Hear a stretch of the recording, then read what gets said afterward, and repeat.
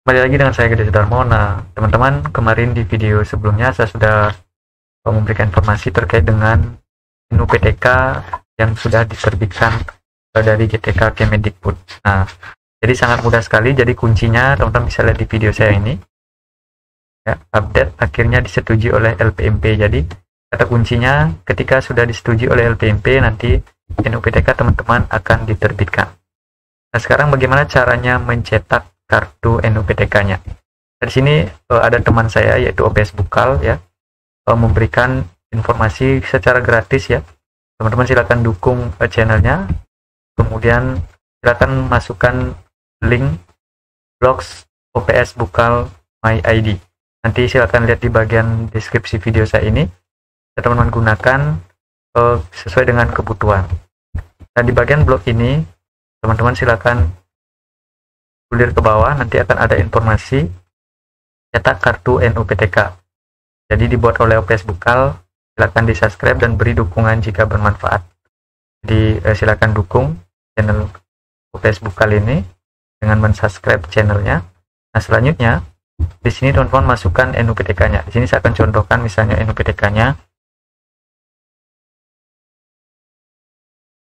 itu kemudian nama sesuai dengan dapodik jadi namanya disesuaikan dengan dapodik misalnya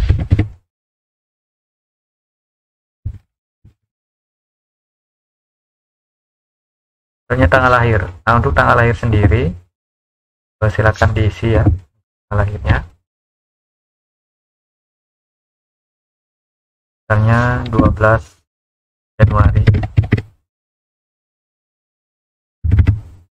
itu misalnya 12 Januari 2000 kemudian tempat lahirnya misalnya di uh, di jenis kelamin nah silakan sesuaikan dengan uh, yang teman-teman miliki. Di sini misalnya perempuan.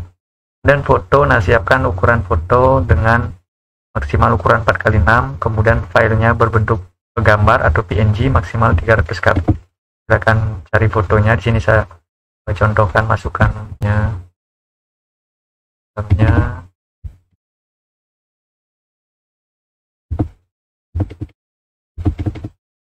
misalnya ini fotonya. Oke. Setelah sudah dimasukkan data yang diminta akan klik tombol proses. Kita tunggu proses e, dari proses pencetakan. Nah jadi di sini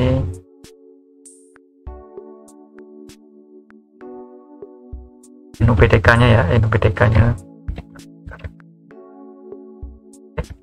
NUPTK nya sesuai dengan digit yang ada di kartu NUPTK nya dan klik tombol proses jadi kita tunggu selanjutnya. Uh, akan ada informasi terkait dengan proses cetak kartunya. Nah di sini akan muncul informasi. Di sini ada NUPTK-nya kemudian ada namanya tanggal lahir tempat lahir dan jenis kelaminnya. Dan ada pas foto yang sudah diberikan. Selanjutnya klik tombol cetak kartu. Nah, untuk cetak kartu sendiri uh, ada dua versi ya.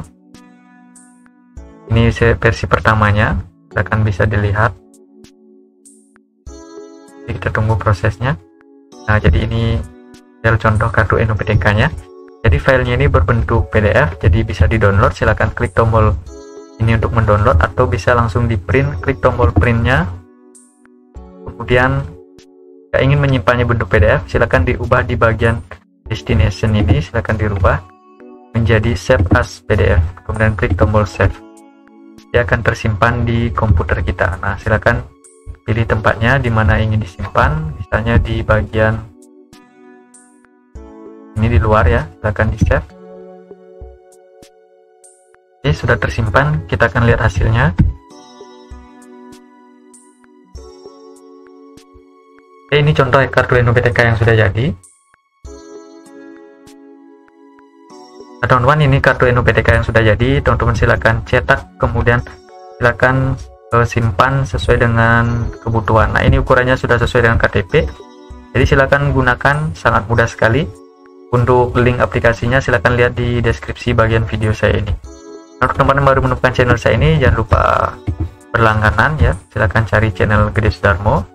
Itu banyak channel-channel terkait dengan informasi dunia pendidikan jadi channel ESA ini e, berkisaran tentang pendidikan. Jadi silakan masuk di bagian videonya. Di situ sudah ada beberapa video 200 video yang sudah saya buatkan di sini. Oke silakan cari sesuai dengan kebutuhan. Sampai ketemu lagi di video-video selanjutnya